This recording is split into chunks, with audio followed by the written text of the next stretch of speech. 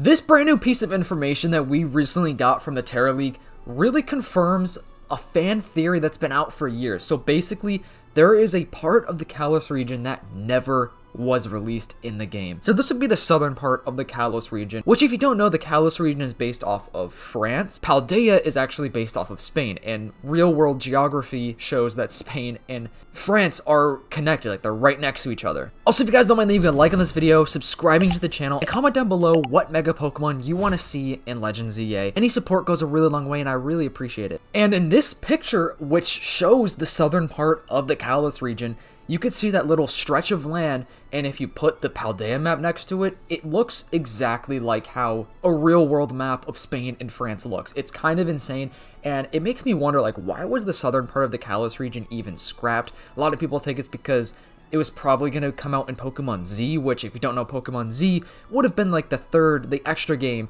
for X and Y, but they scrapped it. I'm pretty sure they were actually like in development of Pokemon Z. Like they actually started developing that game and like story writing it and they just scrapped it because typically the third Pokemon game never sold well. Like Pokemon Platinum or Crystal, which is kind of funny to look back on because the third games are typically like the fan favorites. Like people usually love the third games more than the first, you know, two games. It's just because it has some extra content and stuff like that. So Pokemon Z probably would have given us the southern part, but also it could be because maybe Game Freak thought that the Kalos map was too big and they just kind of wanted to make it a little bit smaller. We don't have any official reason as to why they scrapped it, but I think this is pretty cool, and even though, like, obviously 10 years ago when Pokemon X and Y came out, they probably weren't really planning on this specifically, but if you think about it, they probably already know the next couple of generations, like where it's going to be based on. I mean, I don't know how early they start talking about that, but at the same time, it's just kind of obvious. Like, if you have a map based on Spain, and then you also have one based on France,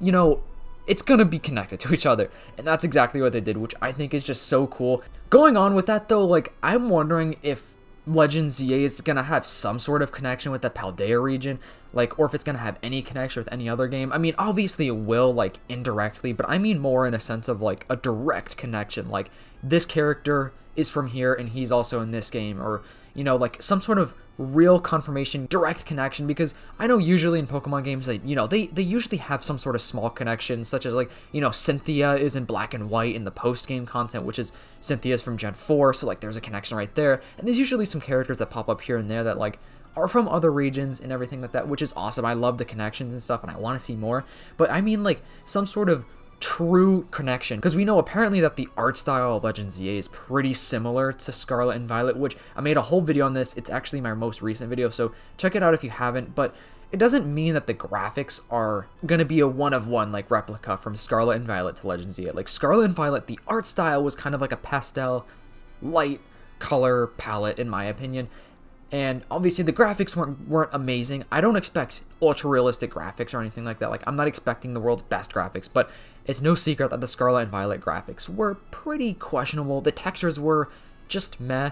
Legends Arceus was great. I think the textures and the graphics of Legends Arceus was amazing. And there are also some other leaks that suggested Generation 10 is actually going to have like an actual direct connection with Scarlet and Violet, which is really interesting. So that makes me think that they're kind of going to have some sort of connection with the Paldea region. We know that we had the Blueberry Academy in the Scarlet and Violet DLC, which is in Generation 5, which that was a connection right there from Gen 5 to Gen 9, which is pretty cool. I think it'd be kind of cool, like, if maybe we had some sort of, you know, gym trainer or something that would be the closest one from the border of Spain and France that showed up in the in the Kalos region. Legends Z-A is going to be based on Lumiose City. Like, we don't know how much of the Kalos region we're going to get.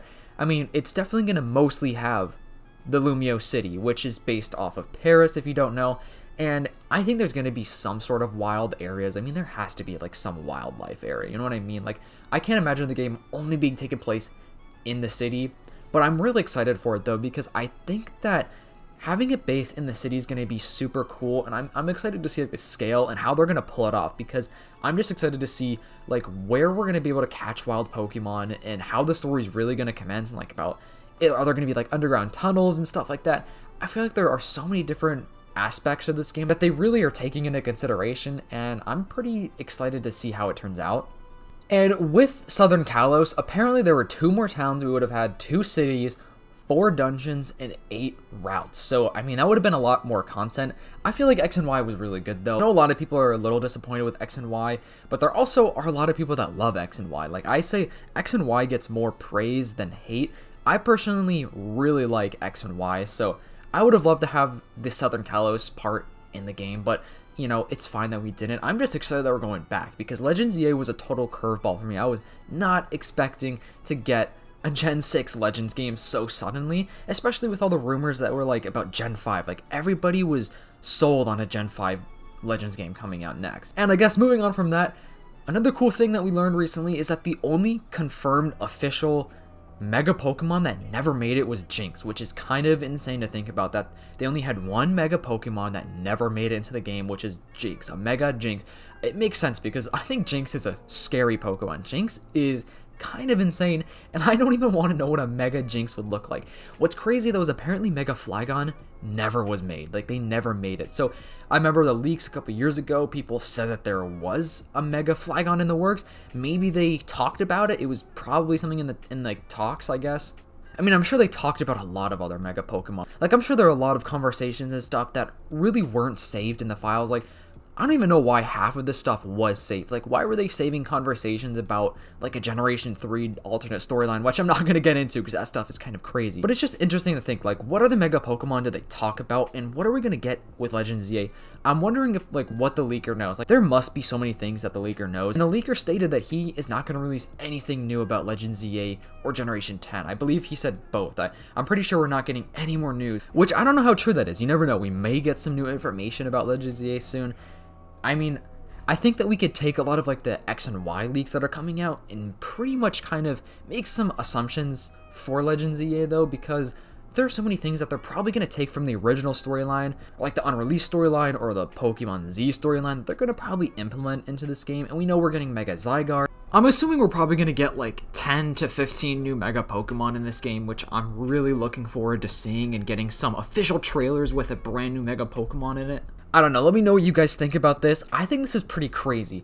And I'm just excited to see if we ever get a Southern Kalos because I don't know when we'd ever get another Gen 6 game. We could never get another Gen 6 game, but or it could be like another 10, 15 years before we get some other game based in Generation 6 or the Kalos region. It could really be anything. I, I have no idea.